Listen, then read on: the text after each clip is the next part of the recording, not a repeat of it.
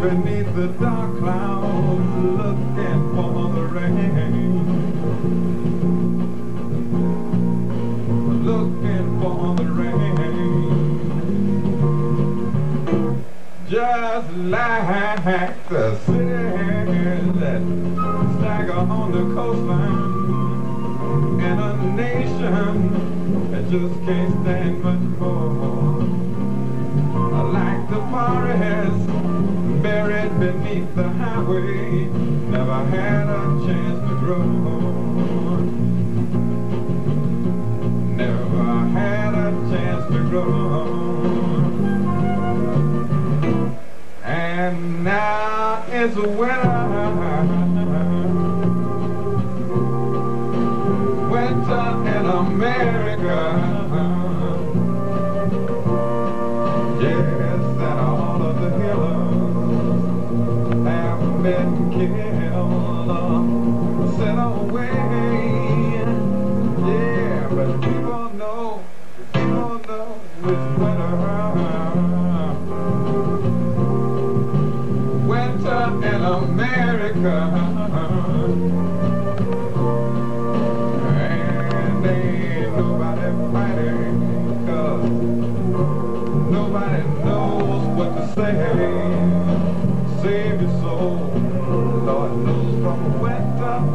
America. The Constitution, a noble piece of paper uh, with free society, struggle but they died in vain.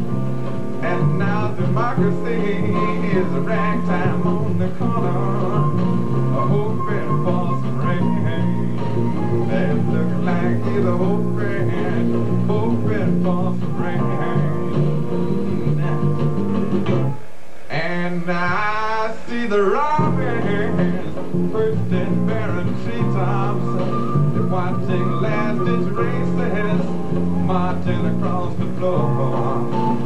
But just like the peace signs that vanished in our dreams, never had a chance to grow. Never had a chance to grow. And now it's. Winter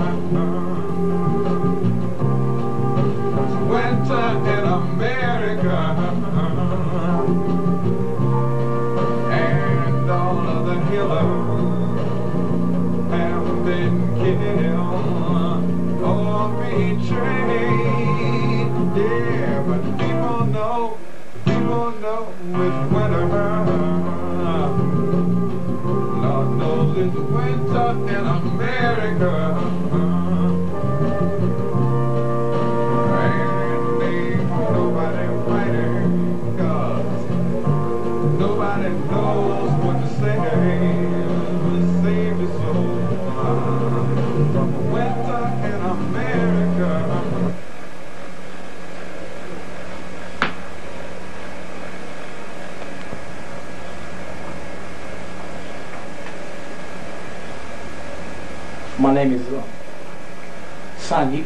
I'm a former New African political prisoner. I'm a citizen of the Republic of New Afrika. I'm a member of the Spear and Shield Collective, Crossroads Support Network, and um, I'd like to talk about or answer a few questions that um, need to be answered that haven't been answered. I think should be answered about certain aspects of uh, my life, and in particular, uh, the last four or five years of my life.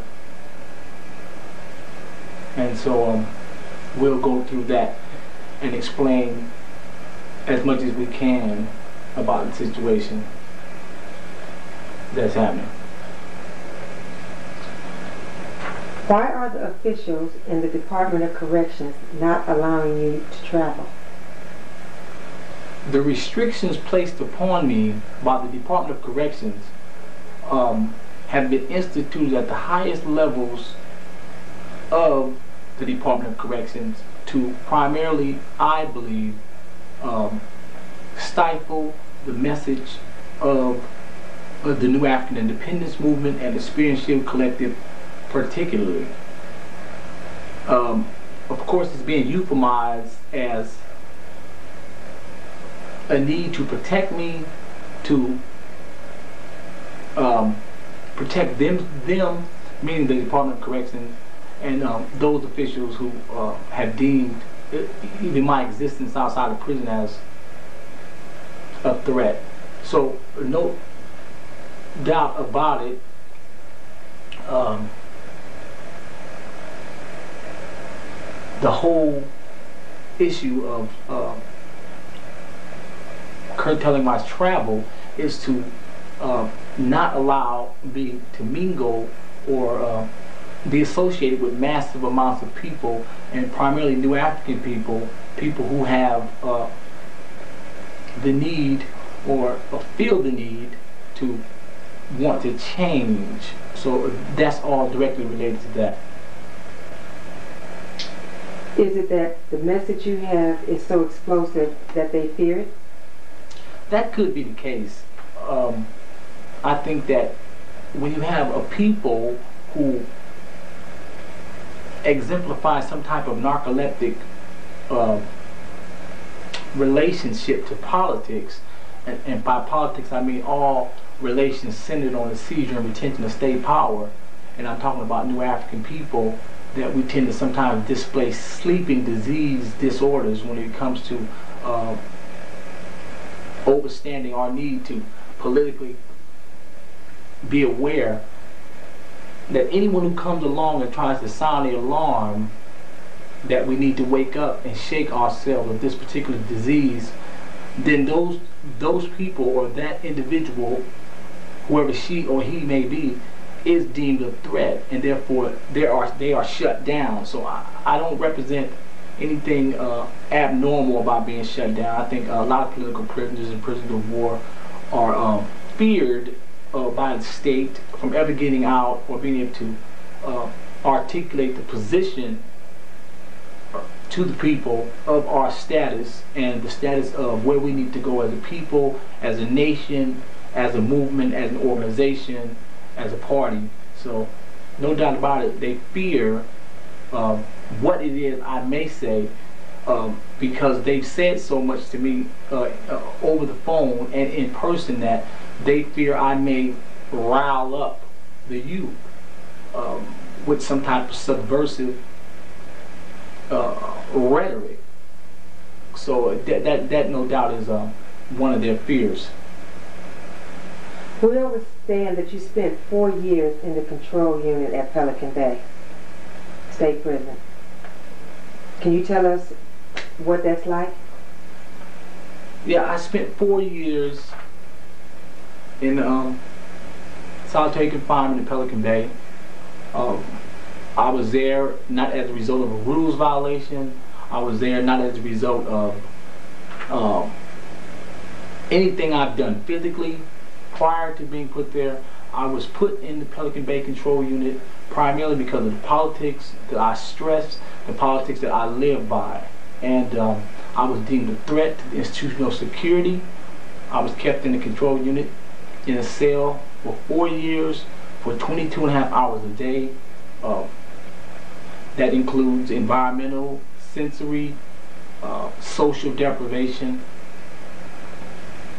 and um, the control unit was pretty much a unit that was housed or that houses um, people who exemplify radical or non-traditional in the American sense uh, politics. Now, while there were some criminals there, the majority of people who were there were there as a result of politics, me being one of them.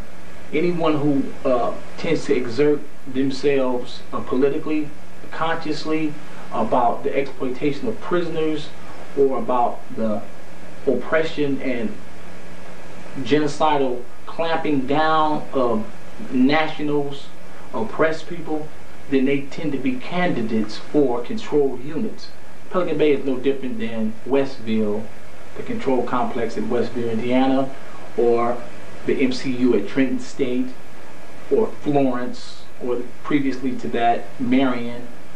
And um, the control unit is to control revolutionary attitudes, like the warden once said at Marion. So Pelican Bay, as a control unit, has worked in one sense, and of course it has failed in another. And worked in one sense that it socially isolates politically conscious cats and prevents us from being out among the general population where we can agitate, educate, and organize. But in another sense, what it, has, it has done is uh, concentrated those politically active people in one particular place where we still have communication and we still can let the drums beat and communicate and vibe and uh, create dialogue and hopefully uh, avenues to rebuild the new Afrikan independence movement in correlation with other movements and um, other organizations to whom we share uh, an affinity. Can you explain the reason behind the pro proliferation of the control units? Well, the proliferation of control units is all in response to the rising uh, uh, consciousness amongst prisoners, or should I say a re-rising of consciousness amongst prisoners, because the prisoners, as uh, Comrade George once said, has amp have ample amount of time to sit and read, to write, to articulate, to vibe on certain issues that people in society um, don't have because of, of, full schedules. And not to say prisoners don't have full schedules, but there's just more time. So when you have conscious revolutionaries out amongst people in the general population, you have um, a problem because there's so much exploitation worker-wise, uh, there's just racist abuse by pigs, there is um, uh, the parasitical criminal element to, uh, of which prisoners, conscious revolutionaries must deal with. Then you have um, uh, prison organizations who uh, wish to um, dominate things. So the control unit and the proliferation of such is to get those individuals off the general populations, out of the main lines, those who uh, tend to exhibit, eh, um, exemplify leadership qualities, uh, politically conscious cats, those who wish uh, or uh, have exhibited uh, uh, jailhouse lawyer potentials to help with litigations and to stop repressive tactics like racist um, repression and just genocidal violence. So the proliferation of control units is in response to our potential and things that we have done and they feel that we can do if we ever get ourselves together. And that's why control units, um, with Pelican Bay being the flagship of a lot of control units, are proliferating from one end of the empire to the next. Uh, control units are a definite way to isolate those they've deemed a threat, to make people believe that these people are incorrigible because there are no educational, religious, vocational, uh, programs in the hole. One is just locked in 23, 22 and a half hours a day um, and left alone. Windowless cells, low ceilings, um, walk alone yards. It's just a tactic, a technique to try and break the prisoner down and make him or her believe that um, nothing is possible. However, the revolutionary spirit continually rises above that. And if one is firm and can remain firm, then one can live through that. However, there are people in instances where individuals have uh, their, their, their minds have broken as a, as a consequence of the social, environmental, and sensory deprivation of places like Pelican Bay. So the proliferation of control units in a nutshell is primarily to isolate individuals physically, um, monitor individuals through surveillance of mail um, and visits, to cosmetically remove what they deem a problem and just have this out of sight, out of mind thing. because the revolutionary spirit cannot be isolated, cannot be destroyed, cannot be killed in any way by a control unit.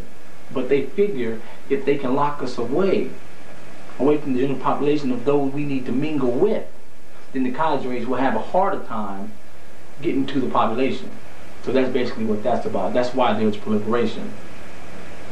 How did you become a new African nationalist? I was initially, of course, a criminal. Uh, I belonged to a street organization. Um, I grew up in South Central. And um,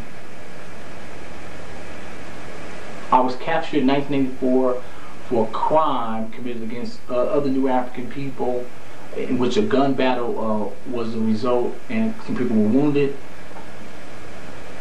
I was put in a hole at San Quentin for 28 months and it was there that I was turned on to the New Afrikan Independence Movement in general and the Spear and Shield Collective in particular. And um, I pledged my allegiance then to um, the independence of the nation, to the new African ideology, the theory, the philosophy of the Spear and Shield Collective, and I um, continue to transform through study and struggle my mentality from criminality to revolutionary nationalism. And I struggled in concert with brothers who were there, who were conscious, who felt a need to and the um, obligation to raise up cats like myself. Um, and so I became a conscious new African citizen in 86, 21 years after the death of Malcolm X, through uh, an invitation by revolutionary brothers who felt that I had potential and that I could be and represent the nation, the organization, and brothers and sisters at large. So I became a new African nationalist from the heart because that's where the revolution began, to the mind, to the people, and um, I've been struggling ever since, consciously. And what is needed to make the new Afrikan independence movement more popular today? Well, the popularity of any movement depends primarily upon the practice of cadres in conjunction with the people.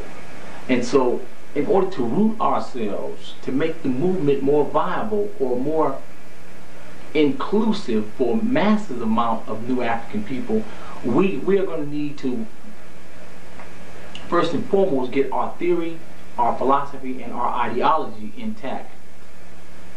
Once cadres have that, overstanding the uh, necessity of these three indispensable components of any revolutionary movement, then they will, or we will, be able to go out among the people and disseminate our particular philosophy through our theory and our ideology. We must have a class-based criteria for not just recruitment, but association. Understanding, however, that the proletariat, the new African proletariat, is a vast amount of people, and that if we recruit or mingle and deal on a level that's conducive to our struggle, meaning the working class, we will have better results. However, this does not negate the fact that we need to uh, be popular amongst all classes of new Africans, and not just the working class, but primarily the working class. But we also need to have uh, roots in every particular strata of the new African population. We popularized the, the, the movement through practice because this is what people understand. Immediate needs, immediate things that they can see results on hand. People want to feel safe. People don't want to be held hostage in their homes, either by criminals or pigs by unjust laws or genocidal tactics, whether they're perpetrated by whomever. So, To popularize the New Afrikan Independence Movement, we're going to have to do legwork. We're going to have to go to the people wherever they are and deal with the people. It's the old adage, from the masses to the masses. That's a true axiom. Nothing can ever be further from, I'll, I'll be closer to the truth. And that's the reality of our situation. That's what we must do as a people, as cadres, as revolutionaries. It's our obligation. So, no movement has ever won its struggle unless it was truly popular. And this is what we need to do. So this is how we popularize uh, the New Afrikan Independence Movement in every particular uh, age group, every particular strata, every um, situation our people find themselves in, whether it's in prison or in college, whether it's at Morehouse or Pelican Bay, whether it's at Florence or Alcorn State, whether it's at DePaul or whether it's at a juvenile hall, a youth authority, um, or in a boardroom. We must reach new African people, primarily the working class, primarily that.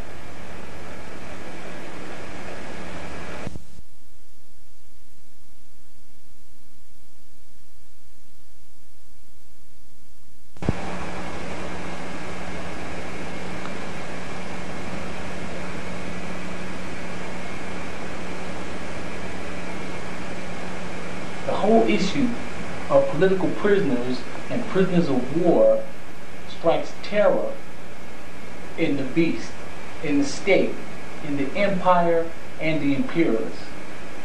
Comrade George Jackson was a common criminal, thief on the street, and was captured at the age of 18 and transformed his criminal mentality over an 11 year period to be a revolutionary, to be a representative of working class people. He eventually became a Black Panther and a prisoner of war as a consequence of the struggle that was going on in the prisons at that particular time and at large. Comrade Brother Fred Hampton, another brother who was a Panther, was also murdered, assassinated, much like Comrade George Jackson, as a response to the seriousness of what they represented. George, excuse me, Fred himself was put in prison uh, because they said he stole ice cream and distributed amongst children. $70 worth of ice cream. He was eventually given three years in prison. In fact, he was murdered while he was out on bail. But this is the type of thing we're talking about. Brother Malcolm X was a prisoner, a common criminal, and transformed his mentality while he was a prisoner, and came out of prison a new man, of whom we know today as El Hajj Malik El Shabazz, or Malcolm X. The point is that prisoners have the capacity, the ability, like anyone else, to transform themselves and become productive, conscious revolutionaries who, by any means necessary, will struggle to the death like any other person. And this is what the state fears. So, to sum it up and to end it all for this particular segment, we must support our prisoners of war, our political prisoners, and all conscious people who are involved in our movements, in our organizations, in our nations. Otherwise, the beast will step in with a surrogate program and turn people against us. With that, I just want to say, rebuild, free land, free all New African political prisoners and prisoners of war.